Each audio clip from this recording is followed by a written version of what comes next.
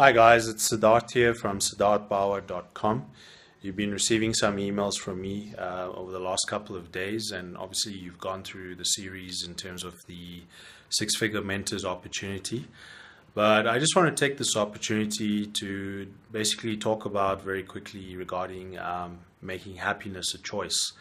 And if some of you are in this process where you sort of at a point where you're thinking a lot about where your life is and you know where you're heading in terms of your goals for the next year, I think one one of the most important things is that very often we can search for happiness outside of us.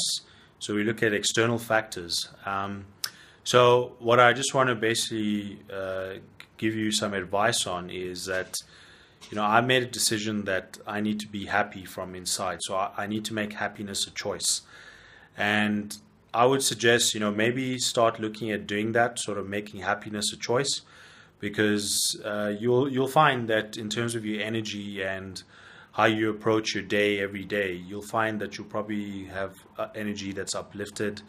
Um, you'll have more focus, and you'll you'll just have motivation to do things, the things that you basically have been putting on hold. So yeah, um, just something I thought I'd quickly share with you. Um, I hope you all have a great week. And um, if you have any questions or if you want to get in touch with me, you can see my email address is in the email, but uh, I'll just repeat it again. It's Siddharth at siddharthbawa.com. If you have any questions just regarding, you know, what I do or what I'm doing in terms of my business, please do get in touch with me. I'd love to hear from you. I will see you in another broadcast where I'll send another video. Thank you very much.